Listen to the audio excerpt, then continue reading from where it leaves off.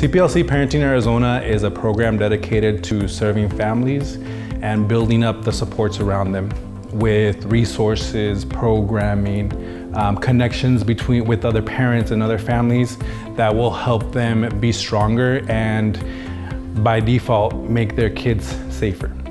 So we have resources here at the Guadalupe Family Resource Center where the youth kids can engage in, um, in activities that will help them develop those um, developmental milestones. We also um, make activities and, and develop activities that will help them start to get ready to get into school, right? We'll help build up their literacy, we'll help build up all those different things that they're gonna need once they get into kindergarten, once they get into preschool, and um, have them be ready to start and ready to grow.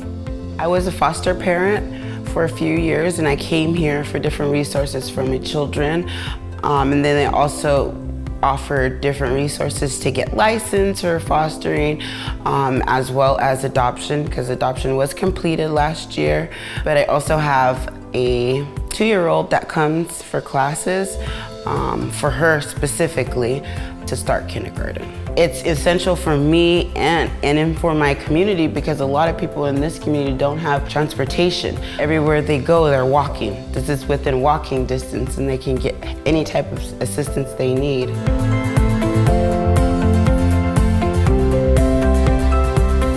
So in addition, we also provide uh, services and programming for families that have kids outside of that age range, including foster families. We do want to um, provide more tools and resources for foster families that are looking for them.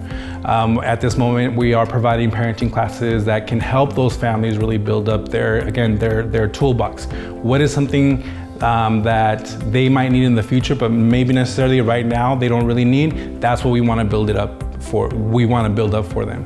What, the way we see it is that we can't teach them to be parents, but we can build different tools, build different skills up so that when um, you know, they're navigating rough waters with their families, with their youth, with their kids, that they have um, as many things available to them as possible. So this programming does help with healthy communication, discussing difficult topics drug use, drug abuse. Um, how do you have those conversations? How do you address that and keep that communication flowing between parents, adults, and, and the youth so that um, those questions are answered so that youth always feel comfortable with coming to their parents, to their caregivers with those questions.